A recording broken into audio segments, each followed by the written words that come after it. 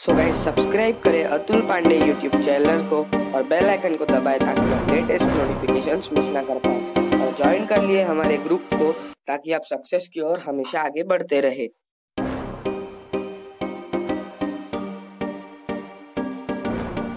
Hi everyone, this is Atul uh, founder and director of Attitude Academy Learning आज हम फिर से अपना सेम टॉपिक कंटिन्यू करने वाले हैं ट्रिग्नोमेट्री सो लास्ट वीडियोस में मैंने आपको बताया था trigonometric ratios introduction to trigonometric ratios complementary angles reciprocals सब के बारे में हमने देखा था। आज उसके आगे कंटिन्यू करेंगे हम लोग, कि हम लोग ये देखेंगे आज यहाँ पे कि ट्रिग्नोमेट्रिक एंगल्स किस तरीके से फाइंड किए जाते हैं for trigonometric ratios mean zero degree thirty degree forty five sixty ninety degree ये सारे एंगल्स के लिए हम देखेंगे कि एंगल्स किस तरीके से आते हैं। सो आगे कंटिन्यू करते हैं, पहले ज़ीरो डिग्री से हम यहाँ पे स्टार्ट करेंगे। सो हम देखते हैं कि ज़ीरो डिग्री के लिए सारे के सारे ट्रिग्नोमेट्रिक रेशियोज की वैल्यू क्या होगी तो सम स्पेसिफिक एंगल्स में सबसे पहले trigonometric ratios of zero degree तो ज़ीरो डिग्री किस तरीके से होता है, इसके ऊपर पहले हम ध्यान देते हैं। ज़ीरो डिग्री का एंगल कैसे बनेगा और किस तरीके से रेशियो आएगा। मान लीजिए हमारे पास में ट्रायंगल एबीसी जहाँ पे 390 डिग्री है इसी उसका हाइपोटेनियस है सो ए एंगल हम यहाँ पकड़ के चलते हैं ए एंगल को हमें ज़ीरो करना है। ए एंगल को अगर आपको ज़ीरो करना है तो आप ए को रिड्यूस करते जाओ धीरे धीरे जैसे जैसे ए एंगल रिड्यूस होते जाएगा तो वैसे वैसे बीसी की जो लेंथ है वो भी रिड्यूस होती जाएगी और ए सी की वैल्यू ए बी के साथ में आती जाएगी। यहाँ पे और एस और ए एंगल रिड्यूस हुआ बी सी की वैल्यू और रिड्यूस होगी। अगेन यहाँ पे और एक ए एंगल रिड्यूस हुआ तो और बी सी छोटा हो गया, और एंगल ए रिड्यूस हुआ बी सी और छोटा हो गया। एंगल ए यहाँ पे जैसे ज़ीरो डिग्री हो जाएगा बी सी की लेंथ भी यहाँ पे पूरा डिक्रीज हो जाएगी नियरली ज़ीरो हो जाएगी। सो so, यहाँ पे एसी की जो वैल्यू है वो नियरली ए बी के बराबर हो जाती है। सो इस हिसाब से अगर हम लोगों ने साइन ए के लिए अगर एंगल ए के लिए अगर हमने ट्रिग्नोमेट्रिक रेशियो अगर फाइंड किया तो उसमें क्या होगा वो देख लेते हैं पर ना हमें पता है कि sin theta is opposite upon hypotenuse means theta means here is angle A so sin A opposite upon hypotenuse means BC upon AC और हमें पता है कि आगे हमने देखा जैसे एंगल ए ज़ीरो हुआ so B C a length भी नियरली ज़ीरो हो गई। सो हमने बी सी की वैल्यू ज़ीरो लिया है upon A C anything upon zero upon anything is zero so zero upon A C मतलब ज़ीरो सो इसका मतलब ए ज़ीरो डिग्री हो गया था आगे जाके तो साइन ज़ीरो की वैल्यू होगी zero so cos cos theta होता है adjacent upon hypotenuse means A B upon A C हमें पता है कि जैसे ही ए एंगल ज़ीरो डिग्री होता है तो ए सी ये जो लेंथ थी वो नियरली आप देख रहे हो जाते जाते ए बी के बराबर हो है। Nearly equals to A B तो A C is nearly becoming the same as A B so as cos A is equals to AB upon AC हम इसकी जगह पे AB की जगह पे AC पुट कर सकते हैं या AC की जगह पे AB की वैल्यू पुट कर सकते हैं। सो so, AB upon AB ये हो जाएगा 1 इसका मतलब cos 0 ये angle is 0 degree here so cos 0 आ गया आपका 1 अगर हमें साइन पता है, cos पता है तो रेसिप्रोकल यूज़ करके हम ट्रिग्नोमेट्री के अदर रेशियोज फाइंड कर सकते हैं। सो tan थीटा ये होता है sine upon cos so tan zero मतलब sine zero upon cos 0 sin 0 हमने फाइंड किया ज़ीरो डिग्री cos 0 हमने फाइंड किया 1 0 upon 1 means 0 degree so tan 0 की वैल्यू ज़ीरो हो गई है।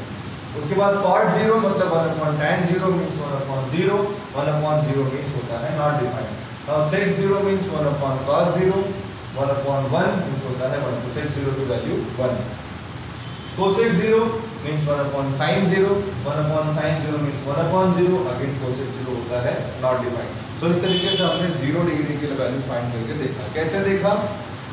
क्या किया आप लोगों ने यहाँ पे एंगल ए को ज़ीरो करते गए जैसे जैसे एंगल ए रिड्यूस होते गया बीसी की साइड भी रिड्यूस होती गई, और एसी जो है साइमल्टेनियसली उसके साथ ही साथ ए बी के बराबर हो गया तो B A B C nearly zero हो गया और ए सी की value nearly equals to A B हो गई तो इस तरीके से हमने एंगल ए ज़ीरो करके सारे ट्रिग्नोमेट्रिक रेशियो यहाँ पे फाइंड किए। तो zero degree now zero degree के लिए देखा अभी हमने, अभी नेक्स्ट हमारा है पार्ट थर्टी डिग्री ज़ीरो के बाद। तो थर्टी डिग्री के लिए बनाने के लिए हमने यहाँ पे क्या किया? एक इक्विलेटरल ट्रायंगल लिया आपने एबीसी हमारे पास में इक्विलेटरल ट्रायंगल है। इक्विलेटरल ट्रायंगल में सारे साइड्स और सारे एंगल्स इक्वल होते हैं। मैंने यहाँ पे सारे एंगल्स इक्वल लिया है 60 60 60 तो 30 डिग्री बनाने के लिए मैंने क्या किया एंगल ए का परपेंडिकुलर बाइसेक्टर ड्रॉ किया। So AD is the perpendicular bisector of angle A, perpendicular on side BC. So, perpendicular bisector है तो एंगल को भी बाइसेक्ट करेगा साइड को भी बाइसेक्ट करेगा। इस साइड को हमने ए बी को 2a पकड़ा ए सी को 2a पकड़ा BC को 2a पकड़ा। इक्विलेटरल ट्रायंगल में सारे साइड्स इक्वल होते हैं, इसका मतलब हमने सभी साइड्स की वैल्यू 2a अज्यूम किया है। नाउ क्योंकि ये परपेंडिकुलर बाइसेक्टर है, इसका मतलब ये जो 2a है, ये a प्लस a हो जाएगा हाफ़ में डिवाइड हो जाएगा, ये a हो गया, ये a हो गया, और ये पूरा एंगल 60 डिग्री इसलिए हो गया 30 डिग्री और ये हो गया आपका 30 डिग्री सो नाउ एक ट्रायंगल हम लेते हैं यहाँ पे ट्रायंगल ADB या ABB जो भी आप बोले। तो परपेंडिकुलर ड्रॉ किया है AD मतलब एंगल डी यहाँ पे 90 डिग्री है। ट्रायंगल ADB एंगल ADB आपके पास 90 डिग्री है। किस कोई किसी भी ट्रायंगल का अगर एक एंगल 90 होता है तो पाइथागोरस थ्योरम का यूज़ कर सकते हैं। So again by Pythagoras theorem आप लोग यहाँ पे hypotenuse square equals to sum of the squares of other two sides so means AB square equals to AD square plus BD square. Now AB की value हमें पता है, हमने assume किया था AB की वैल्यू ट्वाइस है।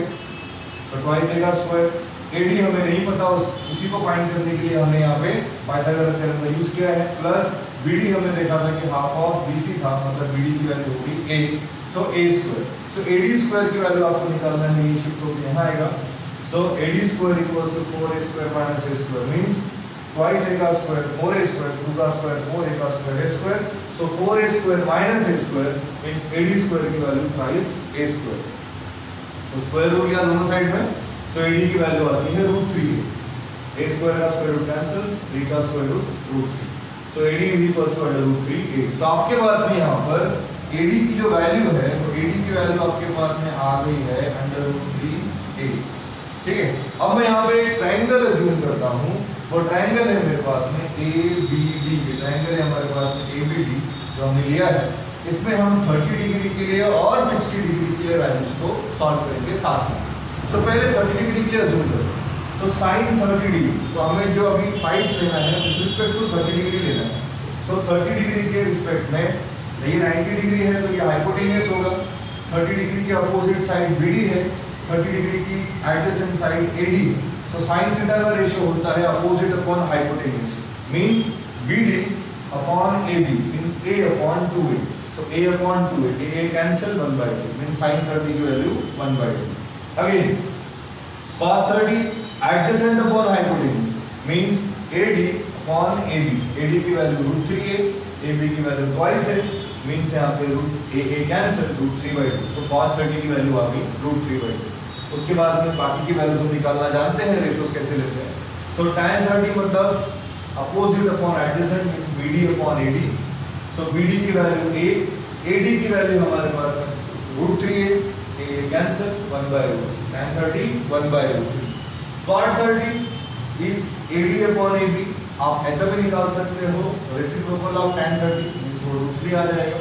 सो हमने side with respect to side लिया है। तो cot 30 मतलब adjacent upon opposite means AD upon BD root three A upon A A cancel root three cot 30 की value root three now sec 30 reciprocal of cos 30 तो cos 30 आपके पास में था रूट थ्री बाई टू इसका मतलब हमें पता है sec 30 की value two by root three हो जाएगी।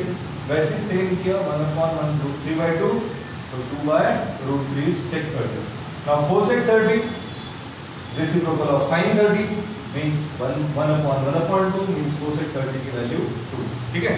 नाउ नेक्स्ट कंटिन्यू करेंगे हम 60 डिग्री के साथ। ओके ना जैसा जैसा हमने 30 डिग्री के लिए देखा था, वैसा ही 60 डिग्री 60 डिग्री के लिए देखेंगे। सेम ट्रायंगल से सो सेम ट्रायंगल हम लोगों ने लिया है एडी फाइंड किया हम लोगों ने पाइथागोरस थ्योरम से 30 डिग्री के लिए सेम 60 के लेंगे। नाउ 60 डिग्री के लिए अपोजिट साइड इस ट्रायंगल में एबीडी में अपोजिट साइड हो गई एडी एडजेसेंट हो गई बीडी और हाइपोटेनियस हाइपोटेनियस हो गया आपका AB so sin 60 degree opposite upon hypotenuse means AD upon AB AD upon AB AD की value root three A AB की वैल्यू हमने यहाँ पकड़ा था so A A cancel root three by two sine sixty root three by two cos 60 adjacent upon hypotenuse means यहाँ पे BD upon AB means A upon 2A A cancel 1 by 2 cos 60 is 1 by 2 next tan 60 is opposite upon adjacent means AD upon BD means हो गया root 3A upon A so root 3A upon A means हो गया root 3 Now cot 60 is reciprocal of tan 60 means root 3 means 1, 1 by root 3 आएगा कैसे BD upon 80 BD upon 80 A upon root 3 A A cancel 1 by root 3 sec 60 means 1 upon cos 60 means 1 upon 1 upon 2 is 2 so sec 60 की value 2 now cosec 60 is reciprocal of sin 60 means 1 upon sin 60 sin 60 की value root 3 by 2 हमने find किया था so 1 upon root 3 by 2 means 2 by root 3 okay Thank you. Leave a comment for next video and your doubts. Please like, share and do not forget to subscribe my YouTube channel.